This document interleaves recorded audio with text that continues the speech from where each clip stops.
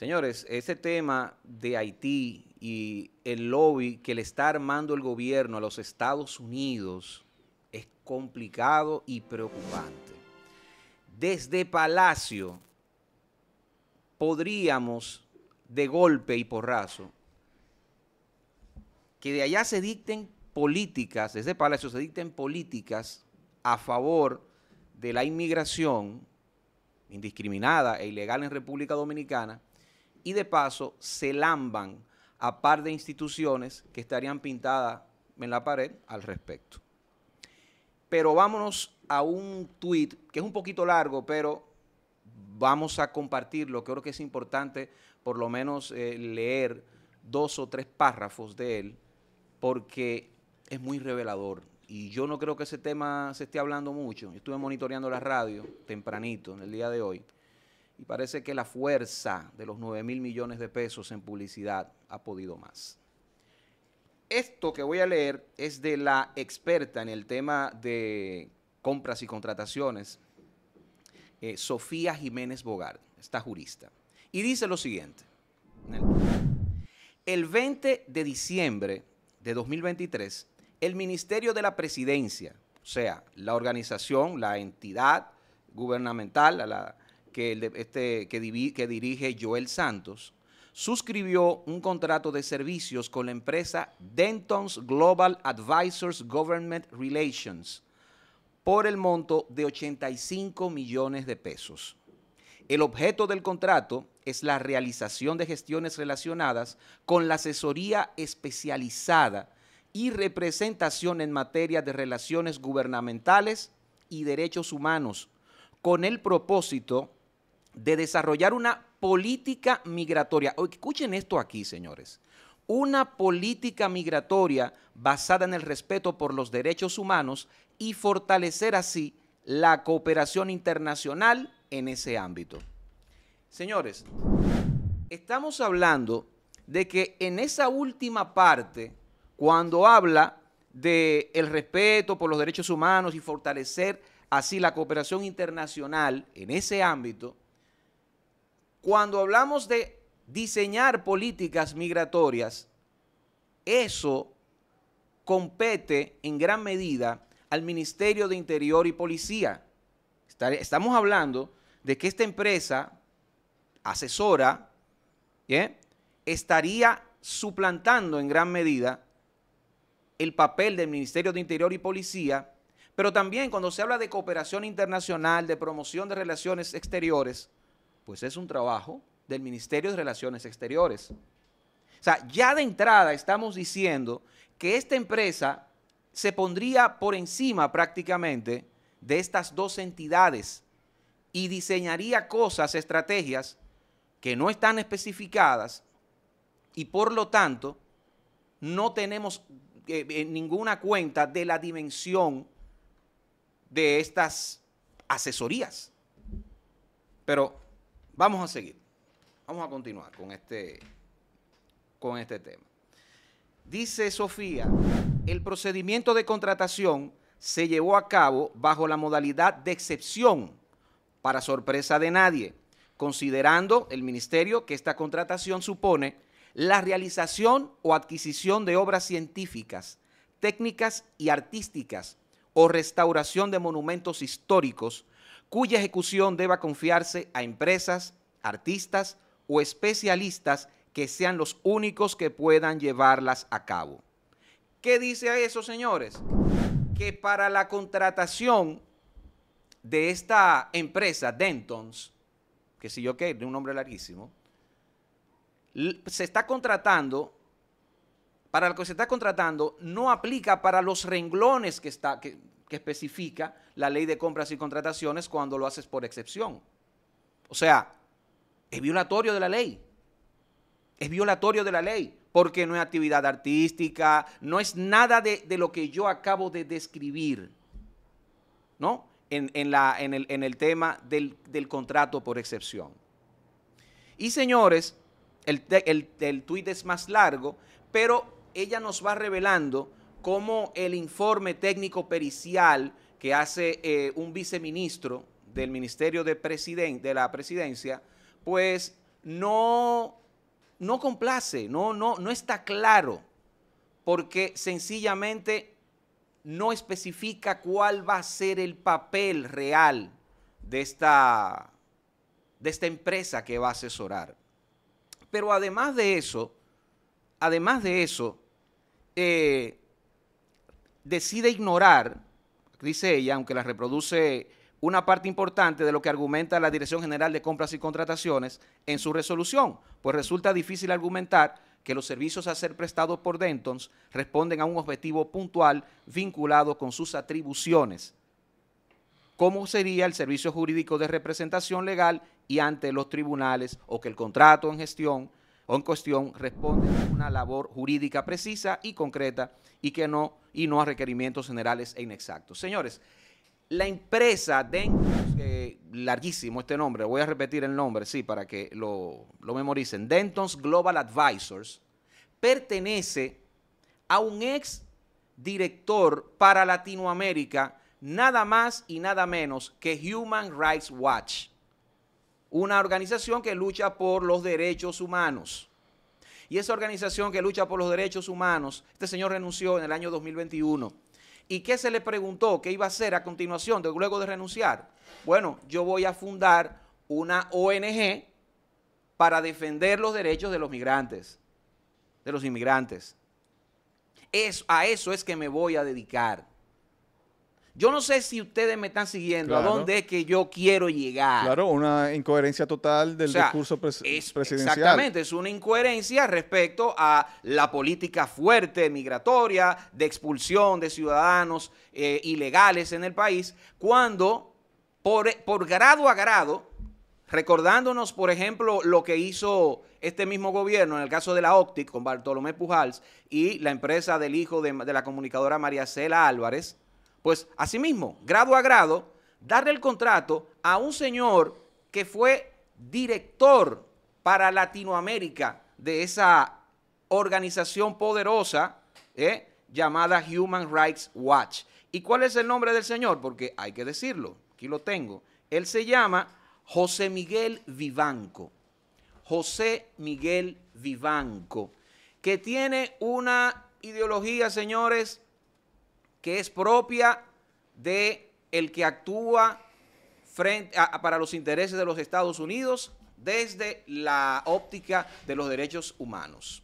Por los derechos humanos, por los derechos que yo qué, siempre a favor de ahí. Y yo les he dicho en numerosas ocasiones que los derechos humanos sencillamente son una forma de chantaje para los países, sobre todo como nosotros, en franca vía de desarrollo, pero todavía sin llegar a él para nada, sencillamente para chantajearnos, para lastrarnos y en el caso de Haití, concretar una desintegración de lo dominicano, una balcanización. 85 millones de pesos, señores, a lo foque está eh, otorgando el Estado dominicano a un señor, a un señor que se dedica a diseñar políticas para los derechos humanos de los inmigrantes. Esa es su prioridad. ¿Por qué la prisa? ¿Por qué hacerlo con él? ¿Por qué hacerlo de esta manera? Cuando eh, él no tiene que hacer asesoría, si él tiene que defender, si él tiene que defendernos, bueno, que se, que se constituya en un abogado. Eso se contrata y se paga aparte. Pero ¿cómo va a ser que este señor sea abogado o defensor de nosotros, pero a la vez asesor y diseñe, asesore y diseñe estrategias? Para colmo estrategias que no se dice, no se dice cómo las lo va a hacer. Esto me recuerda a las cosas que hace este gobierno, da el palo de la gata y después no le explica y está dado como la ley 1-24, me parece la misma vaina. Entonces ustedes tienen que decidirse desde el gobierno. A lo foque, a lo claro. Mira, nosotros eh, eh, sí, eh, estamos, estamos tomando las peticiones, las, las órdenes que nos dan desde los Estados Unidos. Anthony Blinken, que llamó al presidente, el viernes pasado para decirle, ah, eh, supuestamente la nota de prensa del gobierno dice que fue para felicitarlo, darle las gracias por la evacuación que estaba haciendo nuestro país de los diplomáticos estadounidenses en Haití. ¿Tú crees que un, secretario de Estado va a perder su tiempo para darle la gracia? Ay, no tengo nada que hacer ahora. Déjame llamar al presidente de República Dominicana, de esta República Bananera, para darle la gracia. La gracia. Sabrá Dios qué fue lo que le dijo a él. Sabrá Dios qué raya fue la que le bajó. señores, señores, esta vaina es seria. A diseñar la política migratoria, a diseñar ¿eh? una desintegración de la soberanía nacional desde Palacio, contratado por el Ministerio de la Presidencia de Joel Santos. Una barbaridad. Coño, y poca gente está hablando de esa mierda. Poca gente está hablando de esa mierda. Esto es serio. Esto para mí es muy serio, men. Esto es muy serio y delata, men. Delata así de full frontal, coño lo descarado que es este gobierno, men. Lo descarado y la mierda que está haciendo con la política exterior. Eso lo decía Juan Domingo Perón.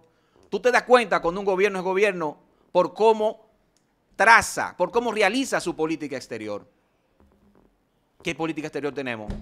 Bajarnos los pantalones y que nos lo meta frío Estados Unidos. No solamente bajarnos los pantalones y acatar todas las órdenes en ese sentido de Estados Unidos, sino para colmo, pagar por eso. Pagar 83 millones por obedecer las órdenes. Exactamente. Explícame. O sea, es como, es como yo contratarte, eh, mira, tú, vamos, tú vas a hacer esta política, pero mira, vamos a vestirlo de tal forma que no se vea tanto, para no causar mucho ruido. Era, es para eso, para no causar mucho ruido en tu población sí, tú tienes una mayoría en la República Dominicana que, que quiere, que, apoya más la soberanía nacional, pero vamos a hacerlo de tal manera que no se vea tanto, vamos a contratarte de manera discreta, pero no, señores, todo este tipo de movimiento deja rastro, deja huella. Y claro, vamos a hacerlo con un experto en el tema y vamos a asumir atribuciones del Ministerio de Interior y Policía y de la Cancillería, porque esas son figuras dominacionales, son políticos, y no queremos que se vea esto tan a lo foque, se vea tan claro. No queremos que se vea tan claro. No, pero yo, no, pero yo estoy, de verdad, men, esto es una cosa, esto, esto es una cosa impresionante. No, y esperen más, ¿ah?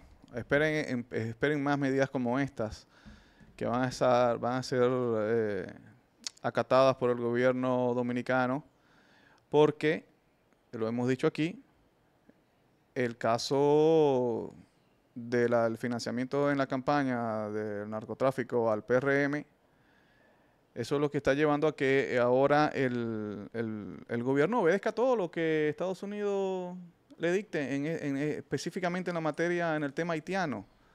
Porque ustedes van a ver, esa, esa es la paga que ellos le van a dar a Estados Unidos para que no revelen nombres que están involucrados ahí, en el caso no solamente de Miguel Gutiérrez, sino en otros casos también.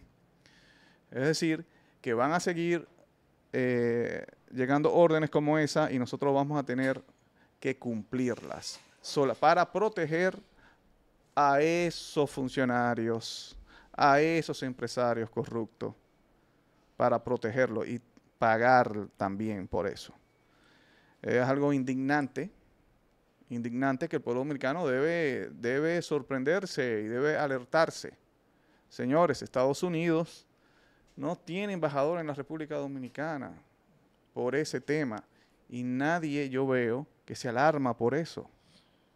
No, pero y lo que debió proceder es, y si me, me respetas como nación, hace más de un año por lo menos, retirar mi embajadora en Washington, que es Sonia Guzmán. Yo la retiro. Claro. Yo la retiro porque tú me estás respetando. Tú tienes casi cuatro años sin embajador. Si yo no tengo hecha ni sospecha, yo te retiro. Porque eso es lo que manda la norma internacional. Ahora bien, ¿qué tiene que decir el director general de compras y contrataciones, Carlos Pimentel? Porque este contrato no está, no está especificado para nada. violenta procedimientos, porque para los procesos de excepción no cumple los requisitos, no tiene nada que ver con los puntos de, de, de, los, de los contratos por excepción. Pero Carlos Pimentel Intran. ¿Qué él va a hacer? Sí, exacto, también ese apellido, Intran. ¿Qué él va a hacer al respecto? O, vamos a tener que aceptar que él a lo foque tenga que, tenga que, ¿verdad? Que, hacerle, que hacerle ese favor ahí a ese ex funcionario de Human, Human Rights Watch, que, que, es una, era una gigante ONG. De ONG a ONG, porque viene de participación ciudadana, vamos a ayudarnos. Entonces ya sabemos, señores, cuáles son las cosas, donde que, en manos de quiénes están nuestra el diseño de nuestra política exterior. Roberto Álvarez, participación ciudadana, canciller. El canciller, el canciller que no ha logrado que Estados Unidos ponga un embajador en la República Dominicana, pero que se vende como el canciller más exitoso. Y el más preparado. yo, me acuerdo que lo vendían como un Ferrari y se burlaban de, de Miguel Vargas. Pero Miguel Vargas, vamos a estar claro, hizo más acciones a favor de nosotros, porque nada más firmar ese acuerdo con China ya. Mira, nada más con el acuerdo con China ya está pago Miguel Vargas. no, no, y, y hizo relaciones con decenas de otros países. Recuerda que subió la categoría del, pasaporte dominicano. Lo que me extraña a mí aquí es la dejadez del gobierno con este tipo de acciones o, inobservancia con relación a las contrataciones públicas, porque yo te, puse el apellido del Intran, pero también te puedo traer el de la OCTIC. Ahora, tú ves una posición de compra y contrataciones de Carlos Pimentel radicales en favor de la transparencia del debido proceso. Pero a ese mismo funcionario tan radical, ¿no? tan contestatario y tan decidido a que se cumpla la ley de compra y contrataciones, es que se le van estos, estos casos. Extrañamente. Es una, es una vaina que yo no. O sea, que yo, yo no entiendo. O sea, yo no él no tiene cómo explicarlo. El gobierno no tiene cómo explicarlo.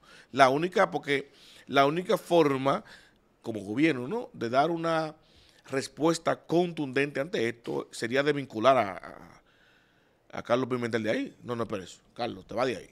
Y este relajo. No, no, y al ministro de la presidencia también, porque, porque nos puso en este aprieto, en estos aprietos. Eh, eh, ellos eh, buscaron a la firma, dicen que ellos son los únicos preparados para eso, pero las justificaciones están tan mal formuladas que no se dice cómo es que ellos van a colaborar con el país. No se dice qué estrategias específicas van a usar para asesorarnos. ¿Tú entiendes? Son los únicos que nos pueden ayudar, pero ¿cómo es que nos van a ayudar? ¿Cómo es que nos van a ayudar? ¿Qué es lo que van a hacer? No lo dice el contrato. O sea, no lo dice la, el contrato, no, lo dice la, justificación, que es importantísima. Por eso cuando las personas, muchas personas hablan de una fusión, que se está trazando un plan para fusionar a los pueblos dominicanos con el pueblo de Haití, eh, viendo cosas como esta, o sea, uno, se, uno también se pone en sospecha. ¿ah? La conspiración como que va aclarándose cada vez más. No, y no es conspiración. Como que coge forma. Y no, y no nos casemos con conspiración y conspiranoia, amén. Acuérdate que conspiranoia fue algo que se inventaron la misma CIA cuando pasó lo de, lo de Kennedy. Que decían, la, la bala mágica es lo que tú tienes que creer. Y cuando la gente descreía de la bala mágica y empezaba a atar cabos, decían, tú eres un conspiranoico. Ahí fue que se empezó a usar ese término. Entonces hay que tener mucho cuidado con eso. Yo lo veo clarísimo están en proceso de desintegración de la soberanía nacional. Los funcionarios están clave ahí.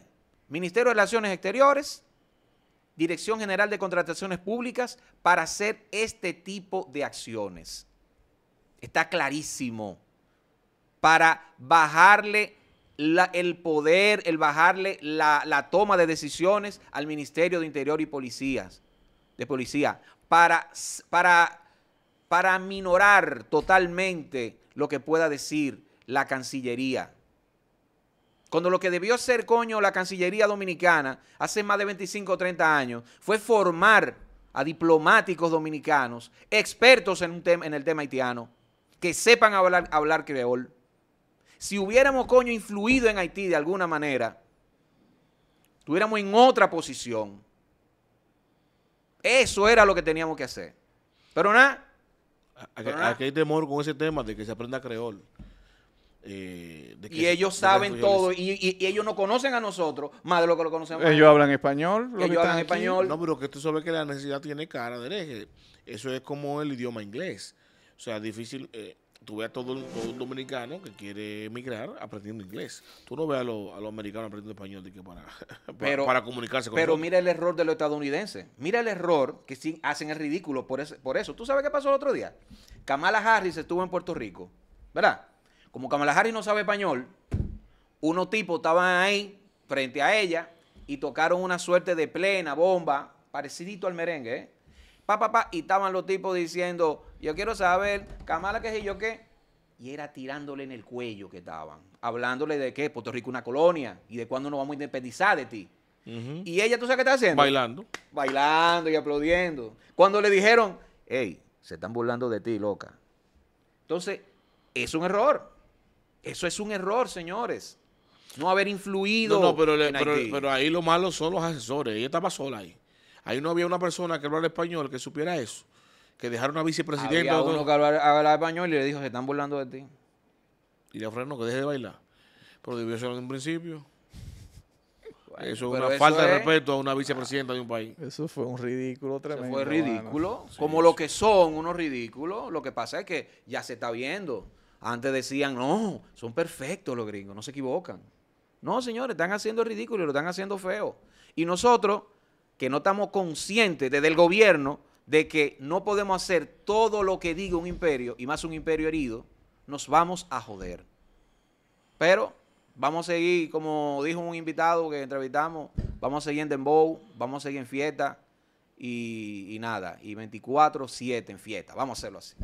Esta es la quinta pata. Mario Herrera, José Maracayo, Edwin Cruz. Recuerden suscribirse, activar campanita, darle a me gusta y comentar, por supuesto, compartir el contenido, el contenido para seguir creciendo.